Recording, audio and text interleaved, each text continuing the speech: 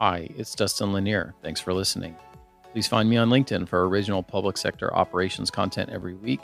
And please reach out to me if I and my team of procurement professionals at Civic Initiatives can help you be a public procurement change agent.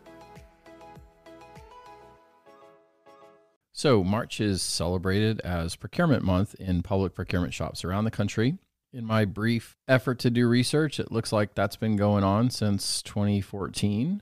But regardless of the start, it's going strong, and you'll see it through things such as mayor and governor proclamations, different in person events by chapters, and then most notably on LinkedIn, which is my primary content channel, you'll see people that otherwise don't post very much making their way out to talk about what procurement means to them. So it's a great chance for you to encourage and support people who don't do content all the time to get out there and to be in the spotlight and to talk about some of what is important to them about procurement.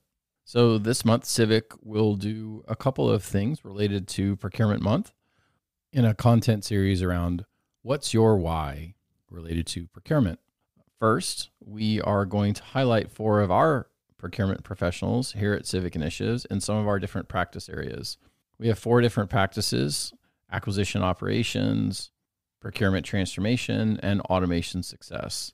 And then additionally, a client success practice. So we'll have a person from each one of those practices talk about what brought them to procurement, why they're passionate about this field, and how does their practice area support our procurement clients.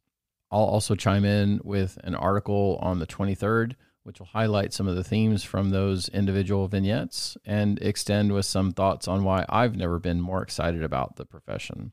And then on March 29th, we're going to wrap up the month with a webinar in association with the National Association of Education Procurement with three public sector higher education panelists that'll help me pick up that theme and talk about their why and also how we bring that energy to the next generation.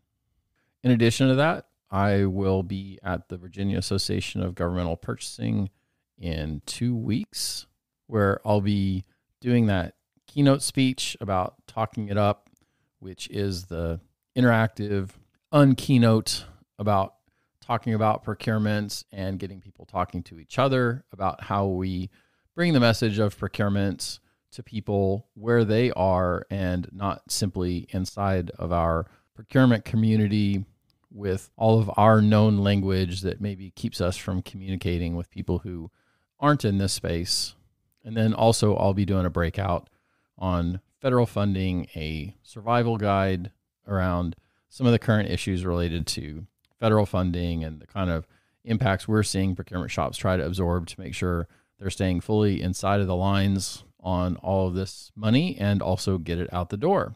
So I'd love to hear from you on some of your why in procurement and certainly hope that you can chime in in that article on the 23rd with some of your why questions. So would love to see you there. And I also hope you can support some of my team members that'll be putting themselves out there with some content when that is definitely not what they do every day. And it's great to see people pick up the baton and come forward and talk about the profession.